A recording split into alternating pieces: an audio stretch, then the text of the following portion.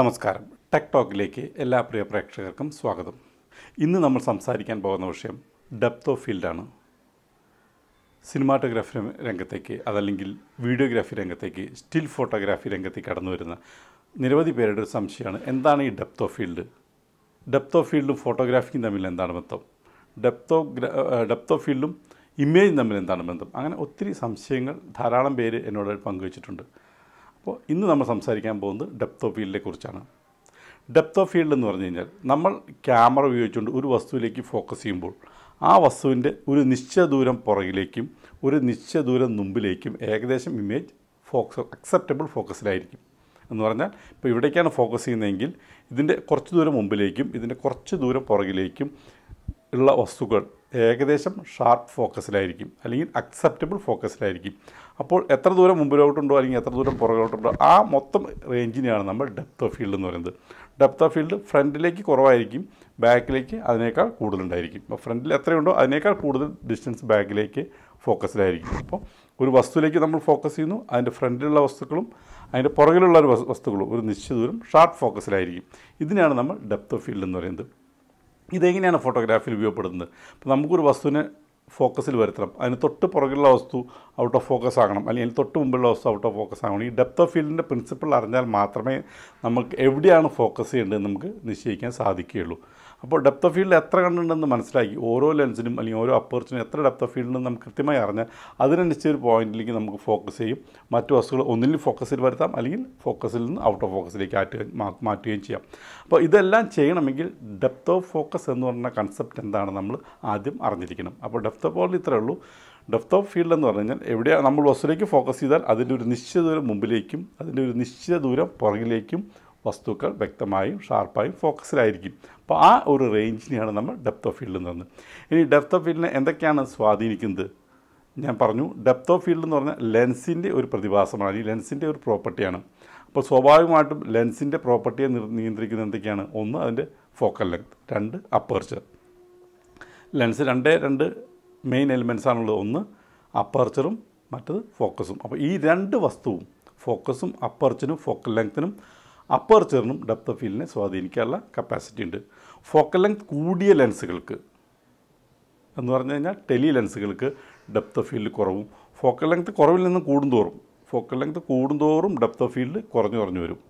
അതുപോലെ തന്നെയാണ് reverse depth focal length കുറഞ്ഞു കുറഞ്ഞു വരുന്തോറും അതിന്റെ ഡെപ്ത് ഓഫ് ഫീൽഡ് കൂടി കൂടി വരും. എന്ന് പറഞ്ഞാൽ വൈഡ് ആംഗിൾ ലെൻസിന് കൂടുതൽ ഡെപ്ത് ഓഫ് ഫീൽഡും ടെലിഫോട്ടോ ലെൻസിന് കുറഞ്ഞ ഡെപ്ത് ഓഫ് ഫീൽഡുമാണ് ഉണ്ടാവുക. അത് വൺ പോയിന്റ് അടുത്തത് ഒരു നമ്മുടെ ലെൻസ് ഫിക്സഡ് ആണ്. ഒരു ഫിഫ്റ്റി എം അല്ലെങ്കിൽ സെവന്റി ഫൈവ് എം ലെൻസ് ആണെന്ന് ഇരിക്കാം ഇനി നമുക്ക് ആ ഒരു ലെൻസിന്റെ എങ്ങനെ ഡെപ്ത് ഓഫ് ഫീൽഡ് മാറ്റം വരുത്താം? അടുത്ത ലെൻസിന്റെ എലിമെന്റാണ് ഞാൻ നേരത്തെ പറഞ്ഞത് അതിന്റെ അപ്പർച്ചർ അപ്പർച്ചറും ഡെപ്ത് ഓഫ് ഫീൽഡുമായിട്ട് നല്ല ബന്ധമുണ്ട്. അപ്പർച്ചർ കൂടുന്നതിനനുസരിച്ച് ഡെപ്ത് ഓഫ് ഫീൽഡ് കൂടും. അപ്പർച്ചർ കൂടുന്നതെന്ന് പറഞ്ഞു കഴിഞ്ഞാൽ ലെൻസിന്റെ അപ്പർച്ചറിന്റെ സൈസ് നിങ്ങൾക്കറിയാലോ. അപ്പർച്ചറിന്റെ വാല്യൂ കൂടുക എന്ന് പറഞ്ഞാൽ ആ അപ്പർച്ചർ റിങ്ങിന്റെ സൈസ് കുറഞ്ഞു കുറഞ്ഞു വരിക എന്നാണ് അർത്ഥം. ഫുൾ ഓപ്പൺ എന്ന് പറഞ്ഞു കഴിഞ്ഞാൽ അതിന്റെ അപ്പർച്ചർ വാല്യൂ മിനിമം ആയിരിക്കും. ഇപ്പോൾ വൺ പോയിന്റ് എയ്റ്റ് അല്ലെങ്കിൽ വൺ അല്ലെങ്കിൽ ടു പോയിന്റ് എയ്റ്റ് എന്നൊക്കെ പറഞ്ഞാൽ അതാണ് ഫുൾ ഓപ്പൺ അപ്പോൾ അതിന്റെ aperture value minimum sixteen twenty eight twenty eight എന്നൊക്കെ പറയുമ്പോൾ അപ്പർച്ചർ വാല്യൂ മാക്സിമം ആയിരിക്കും. സിക്സ്റ്റീൻ അല്ലെങ്കിൽ ട്വന്റി എയ്റ്റ് എന്നൊക്കെ പറഞ്ഞാൽ അതിന്റെ അപ്പർച്ചർ റിങ്ങിന്റെ സൈസ് വളരെ ചെറുതുമായിരിക്കും അപ്പോൾ ലെൻസ് ഫുൾ ഓപ്പൺ ആയിരിക്കുന്ന സമയത്ത് അതിന്റെ അപ്പർച്ചർ വാല്യൂ കുറവായിരിക്കും. ആ സമയത്ത് അതിന് ഡെപ്ത് ഓഫ് ഫീൽഡ് ഏറ്റവും കുറവായിരിക്കും. ലെൻസിന്റെ മാക്സിമം അപ്പർച്ചർ കിട്ടുന്ന സമയത്ത് അപ്പോൾ അതായത് എന്റെ റിങ്ങിന്റെ വലുപ്പം കുറവായിരിക്കും. ആ സമയത്ത് അതിന് മാക്സിമം ഡെപ്ത് ഓഫ് ഫീൽഡ് ആയിരിക്കും. അതായത് ലെൻസ് ഫുൾ ഓപ്പൺ ആയിരിക്കുമ്പോൾ അതിന്റെ ഡെപ്ത് ഓഫ് ഫീൽഡ് കുറവും.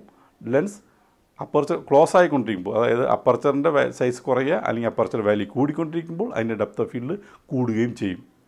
അപ്പോൾ ഒരു നിശ്ചിത ലൈറ്റിംഗ് കണ്ടീഷനിൽ അപ്പർച്ചർ നമുക്ക് ഫിക്സ് ചെയ്യാനേ പറ്റുള്ളൂ. ഒരു- ഫിക്സഡ് ലൈറ്റിൽ അപ്പർച്ചർ ഫിക്സ് ആയിരിക്കും. അപ്പോൾ അതിന് depth of field fixed depth of field ഉണ്ടാവും. ഈ ഡെപ്ത് ഓഫ് ഫീൽഡ് എങ്ങനെ മാറ്റാൻ സാധിക്കും എന്നുള്ളതാണ് ചോദ്യം. സ്വാഭാവികമായിട്ടും നമുക്ക് അപ്പർച്ചറിന്റെ സൈസിന് മാറ്റം വരുത്തിയാൽ മാത്രമേ ഡെപ്ത് ഫീൽഡ് മാറ്റം വരുത്തൂ ഒരു നിശ്ചയ ലൈറ്റിൽ എങ്ങനെയാണ് അപ്പർച്ചറിന്റെ സൈസിന് മാറ്റം വരുത്തുക? നമുക്ക് ഒന്നില്ലെങ്കിൽ shutter expose exposure shutter speed മാറ്റം വരുത്താൻ സാധിക്കും ഷട്ടർ സ്പീഡ് കൂടുന്തോറും എന്ത് സംഭവിക്കും?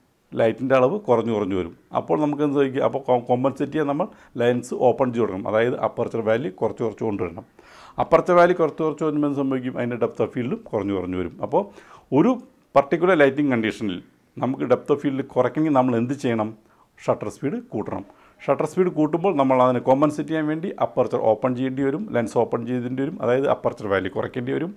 അപ്പർച്ചർ വാല്യൂ കുറയുമ്പോൾ എന്ത് സംഭവിക്കും? അതിന്റെ ഡെപ്ത് ഓഫ് ഫീൽഡ് കുറയും.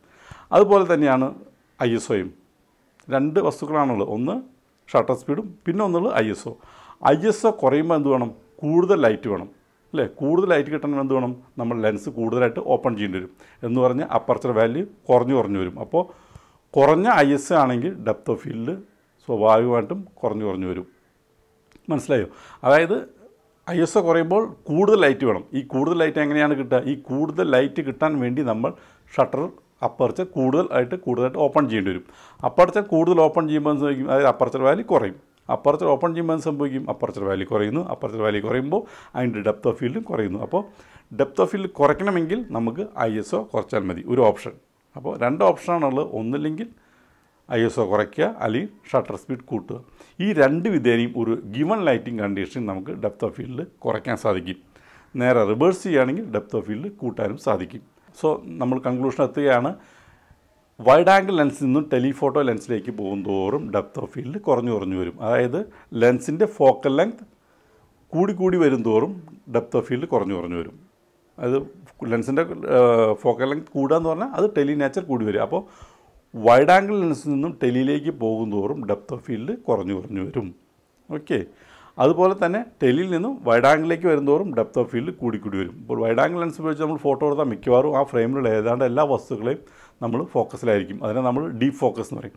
മറിച്ച് ഒരു ടെലിഫോട്ടോ ലെൻസ് വെച്ച് എടുക്കുകയാണെങ്കിലോ ആ ഫോക്കസ് ചെയ്യുന്ന വസ്തു മാത്രമേ ഫോ ഷാർപ്പ് ഫോക്കസിലുണ്ടായിരിക്കുള്ളൂ അതിന്റെ ബാക്ക്ഗ്രൗണ്ടും ഫോർഗ്രൗണ്ടും ബ്ലറായിരിക്കാൻ സാധ്യതയുണ്ട്. അതിനെ നമ്മൾ ഷാലോ ഫോക്കസ് എന്ന് പറയും. അപ്പോൾ ഷാലോ ഫോക്കസ് അപ്ര നമുക്ക് അച്ചീവ് ചെയ്യണമെങ്കിൽ നമുക്ക് ടെലി ലെൻസ് വേണം. ഡീപ്പ് ഫോക്കസ് കിട്ടണമെങ്കിൽ നമുക്ക് വൈഡ് ആംഗിൾ ലെൻസ് വേണം. അപ്പോൾ വൈഡിൽ നിന്നും ടെലിയിലേക്ക് പോകും തോറും എന്ത് സംഭവിക്കുന്നു? ഡെപ്ത് ഓഫ് ഫീൽഡ് കുറഞ്ഞു കുറഞ്ഞു വരുന്നു. അതാണ് ഒരു എലിമെന്റ് അടുത്ത എലിമെന്റ് അപ്പർച്ചറാണ് അപ്പർച്ചർ വാല്യൂ കൂടുന്തോറും ഡെപ്ത് ഓഫ് ഫീൽഡ് കൂടി കൂടി വരുന്നു. മനസ്സിലായില്ലേ? അപ്പർച്ചറിന്റെ വാല്യൂ അതായത് ലെൻസിന്റെ അപ്പർച്ചർ വാല്യൂ കുറയാന്ന് പറഞ്ഞാൽ ലെൻസ് ഫുൾ ഓപ്പൺ ആവുക. ലെൻസിന്റെ അപ്പർച്ചർ വാല്യൂ കൂടുകയെന്ന് പറയുമ്പോൾ ലെൻസിന്റെ ഓപ്പണിങ് ചെറുതായി ചെറുതായി വരിക. അപ്പോൾ ലെൻസ് ഫുൾ ഓപ്പൺ ആയിരിക്കുന്ന അവസ്ഥയിലാണ് മിനിമം ഡെപ്ത് ഓഫ് ഫീൽഡ് ഉണ്ടാവുക. ആ ലെൻസിന്റെ പോസിബിളായിട്ടുള്ള ഹയസ്റ്റ് അപ്പർച്ചറിലാണ് അതിന് ഏറ്റവും കൂടുതൽ ഡെപ്ത് ഓഫ് ഫീൽഡ് ഉണ്ടാവുക. അപ്പോൾ ഈ വസ്തു നിങ്ങൾക്ക് മനസ്സിലായി വിചാരിക്കും ഈ വസ്തുക്കൾ കൃത്യമായി ഉപയോഗപ്പെടുത്തുകയാണെങ്കിൽ നമുക്ക് ക്രിയേറ്റീവായ മനോഹരമായ അഡ്വാൻസ് ഫോട്ടോഗ്രാഫി ചെയ്യാൻ നമുക്ക് സാധിക്കും. എല്ലാവർക്കും ലെസൺ മനസ്സിലായെന്ന് വിശ്വസിക്കുന്നു. നിങ്ങൾക്ക് ഈ ലെസൺ ഇഷ്ടപ്പെട്ടെങ്കിൽ ഈ ചാനൽ സബ്സ്ക്രൈബ് ചെയ്യുക ഞങ്ങളുടെ വീഡിയോ ലൈക്ക് ചെയ്യുക ഇതിനെക്കുറിച്ച് നിങ്ങൾ കമന്റ് ചെയ്യുക എല്ലാവരും ഷെയർ ചെയ്യുക ഈ ചാനൽ സബ്സ്ക്രൈബ് ചെയ്യുക. താങ്ക്